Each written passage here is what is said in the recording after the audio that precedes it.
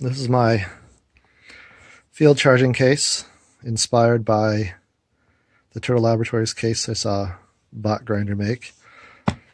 So it's a uh, Seahorse 300 case. And here's the uh, inside here. Uh, so I went with the Toolkit RC M8. Um, that's the uh, charger I went with here. Um, the uh, power supply underneath is uh, a Lantian 24 watt.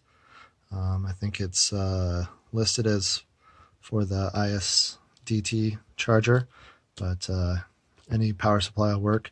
Uh, it fits perfectly across there. It is a little bit taller, and uh, the way the Toolkit RC charger is, and it kind of has that angle on it. Um, it was a pretty close fit there, but uh, it worked out with these 3D printed inserts. Um, so all these 3D printed uh, files and things are on Thingiverse. Um, the little case that I made for this, and the bevel, and the little case and bevel for the balance lead, and the little fan guard. Um, those are all in Thingiverse. Uh, these I'll probably post later, but they're just pretty simple just to make. I just made that because my holes weren't perfect, so I just kind of made a little, little extra bevel around there. Uh, so um, you can give it uh, AC power um, just with your standard, you know, plug here. So I can go in here, get yourself standard AC power, um, or you can also plug this in DC. Uh, you know, hook this right up to a car battery if you're out in the field or you know somewhere else where you have a, a battery power for for voltage.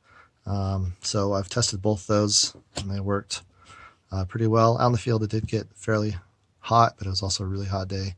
Um, so I've got a 12 volt fan here that's uh, blowing air out. Um, the power source itself also has a fan.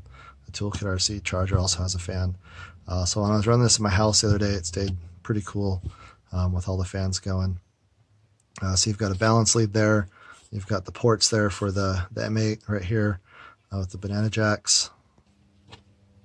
So I also have an auxiliary jack right here, 12 volts out for like a you know 1S charging board for like whoop batteries. USB right there for charging your cell phone. So you can turn that on and off just so that doesn't run all the time. The fan does run all the time. There's a voltage regulator underneath here that steps down the voltage from 24 volts, which the power supply gives, down to 12 volts for these guys here. Um, you know, you can hook up your various different uh, batteries here with, you know, whatever leads you want. Um, I typically fly smaller micros, so I use a lot of XT30s, so I can hook a balance board here with the XT30. So it's all pretty much all there. It can all, for the most part, fit in here. Um, and I can take it with me um, or just use it at home. And everything's all in one spot, which is kind of the, the goal was everything was all together and was always going to stay together and not get scattered sometimes like it does in the desk. But uh, yeah, this charger's been pretty good. Um, it does have its quirks. Every once in a while, it will just not want to charge a battery and say there's a voltage issue with the battery, but my other charger will charge the battery just fine. So I don't know if it's firmware thing or not. I need to find a PC to upgrade the firmware. Um, I only have a Mac and it doesn't want to read my virtual PC doesn't want to read.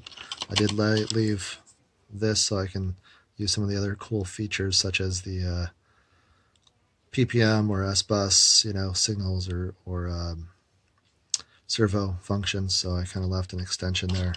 Just kind of tuck that in there. That seems to work. But uh, I'll put up all the files. They're all up in Thingiverse. Um, I'll put links to that in the description and uh, links to all the other little gadgets and gizmos.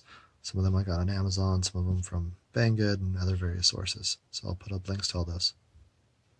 Thank you. Bye.